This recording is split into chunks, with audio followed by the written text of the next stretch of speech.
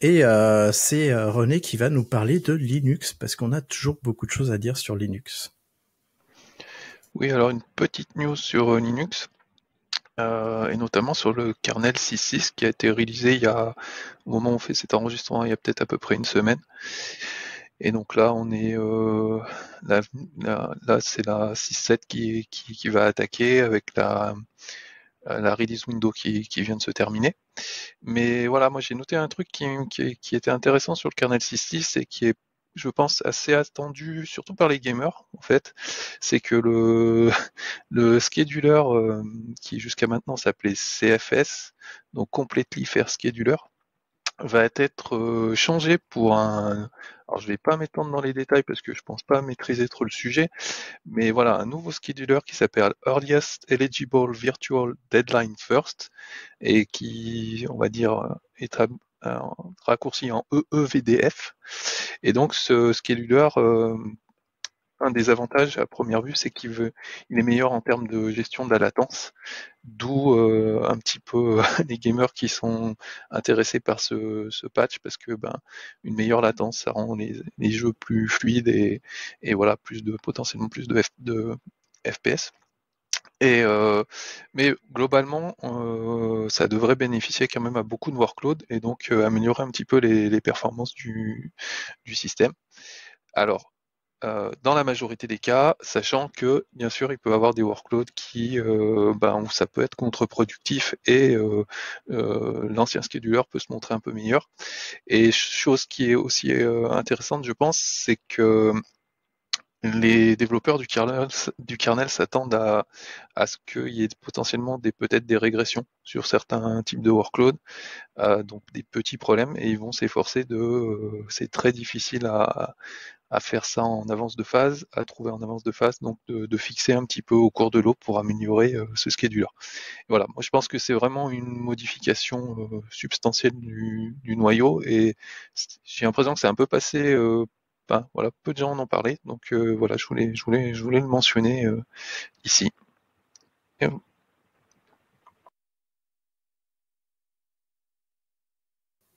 Nicolas, tu veux intervenir? Pas spécialement, parce que euh, les noyaux Linux, ça fait longtemps que je ne le compile plus, donc je vais probablement bénéficier de ce nouveau scheduler dans 5 ans lors de la prochaine mise à jour de Debian tu trolls un peu là. Euh, ouais, je te tends la perche. Tu me tends la perche, ouais. Euh, ben moi aussi, j'en profiterai probablement dans cinq ans. Non, je, j'avoue que moi non plus, je compile plus les noyaux depuis longtemps. Euh, d'ailleurs, je sais plus qui compile encore les noyaux euh, maintenant, à part les, justement les cloud providers. Mais euh, du coup, c'est vraiment intéressant de voir ces évolutions-là. On pourrait croire en fait que Linux c'est bien, c'est stable, tout va bien et que c'est un pépère qui, qui avance à son rythme. Mais en fait, je vois qu'il y a des évolutions très régulièrement. On en parle souvent. C'est finalement un OS qui est à la pointe et euh, et, et nous l'oublions pas, je te passe la parole juste après, Nicolas. Ne l'oublions pas, il est partout. Il est à la fois sur nos machines, parce que bah, on développe en Linux, en tout cas moi. Euh, oh, il est sur nos euh, data centers, puisqu'il est sur nos serveurs, sur nos euh, agrégats Kubernetes, mais il est aussi sur nos euh, petites machines en Edge, nos petites machines en IoT. Parfois, on a des Linux très très légers, et je pense que ce nouveau scheduler va profiter aussi à ce qu'on appelle le Edge, tout ce qui est petite machine ou, objet connecté qu'on pourrait avoir. Nicolas, tu voulais intervenir je voulais repréciser, euh, Linux, n'est pas le système d'exploitation, mais vraiment juste le noyau, c'est ce qui va faire l'interface entre euh, vos programmes et le, le, matériel. Et après, effectivement, il y a les distributions Linux qui vont rajouter ce qu'il faut pour que le système d'exploitation puisse fonctionner mais c'est le c'est un des composants les, plus importants si vous voulez avoir de bonnes performances euh, parce que avec un noyau euh, compilé avec des mauvaises options, ça sera très lent euh, malgré tout ce que vous pourrez mettre au-dessus. Et si vous avez besoin de performance, regardez pour compiler vos noyaux. Euh, c'est c'est pas parce qu'on a arrêté de le faire que euh, c'est compliqué. C'est parce qu'en fait maintenant, le, avec la gestion des modules dans le noyau Linux, on peut plus facilement charger des, trucs externes et les performances des machines sont aussi telles qu'on n'a plus besoin de, compiler. Mais je connais quand même quelques personnes qui le font et on a moyen d'optimiser euh, pas mal. Euh, moi, je vais peut-être me mettre à le faire pour euh, justement bénéficier de performances un petit peu plus importantes et surtout bah, réduire l'empreinte carbone puisque en ayant un, un noyau compilé un petit peu plus aux petits oignons avec juste ce dont on a besoin, ça fait un petit peu moins de place consommée en mémoire et ainsi de suite. Donc, euh, et surtout, toutes les distributions Linux maintenant vous fournissent des, des outils pour euh, compiler votre noyau et le packager pour votre distribution. Euh, à l'époque, je le faisais pour Debian et ça fonctionnait très très bien. Donc, vous pouviez avoir un noyau très récent avec une distribution un petit peu plus ancienne. Merci, je voulais préciser ça justement à la partie module qui nous simplifie la vie quand même, puisque à l'époque on a dû compiler des noyaux, toi et moi, je pense qu'on est un peu de la même génération. C'est à l'époque où il n'y avait pas vraiment ces modules et où on devait compiler euh, des trucs pour notre carte graphique, euh, pour euh, la gestion de notre carte mère, etc., etc. mais je pense en effet que les personnes qui ont des petits serveurs, je parlais justement d'objets connectés, c'est ce genre de population-là qui vont qui vont compiler le noyau. René. Oui, je voulais, je voulais juste ajouter euh, par rapport à ce que disait Nicolas. Oui, ce qui, est intéressant des fois à recompiler, alors c'est, du travail, mais euh, c'est de compiler pour euh, des archives plus récentes. C'est-à-dire qu'aujourd'hui, un kernel tel qu'il est, il est compilé avec des options de processeurs qui sont super vieilles. Et effectivement, on peut bénéficier de, meilleures performances en, le compilant avec des options matérielles pour du support de matériel plus récent, enfin de processeurs plus récents.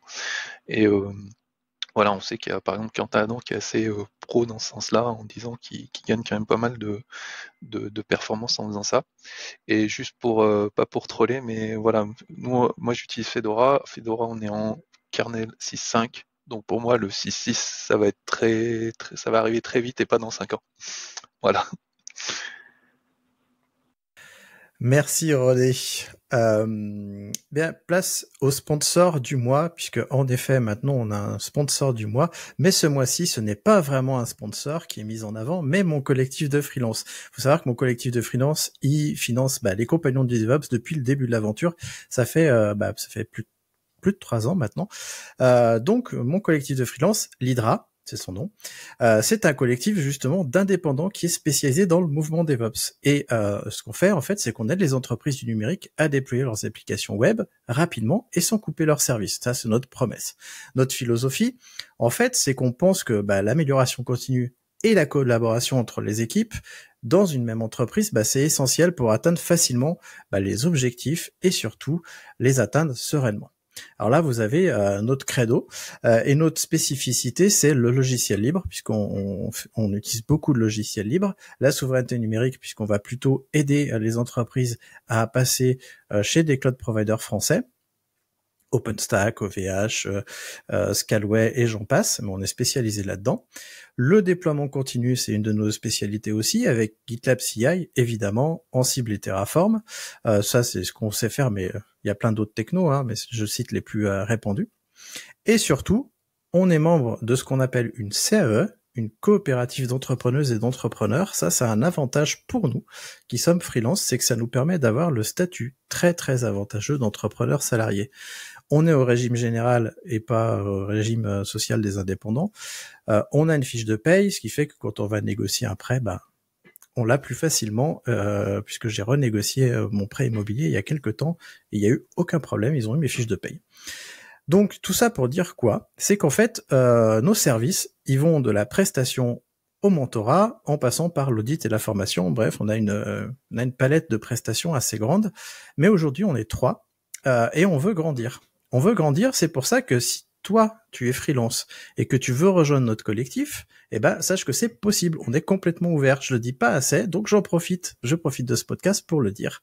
Et du fait que, bah, l'Hydra finance ce podcast, on s'est dit que ce serait une bonne idée de faire un appel à l'action et de te dire, bah, écoute, viens, viens nous rejoindre, viens discuter. Donc, pour nous rejoindre, c'est hyper simple. Il faut partager nos valeurs. C'est pour ça que j'en ai parlé et vouloir évidemment avoir le statut d'entrepreneur salarié, donc faire partie de la coopérative euh, bah, qu'on partage avec d'autres. Si tu veux en savoir plus, c'est simple, tu vas sur notre site internet, c'est lidra.fr, L-Y-D-R-A. Le lien, de toute façon, il est, il est en description. Tu peux aussi prendre contact avec moi sur le forum, le forum des compagnons, ou les réseaux sociaux, LinkedIn ou Twitter de préférence. De préférence, LinkedIn, c'est mieux pour moi. Euh, et puis partir de ce moment-là, on discutera, on organisera des visions entre nous, tu rencontreras les autres, et puis on apprendra à se connaître, et puis peut-être que l'Hydra grandira, grandira, grandira, peut-être qu'un jour on sera une vingtaine euh, de freelance spécialisés. Qui sait? Euh, Donc voilà, c'était mon petit appel à l'action euh, du, euh, du jour.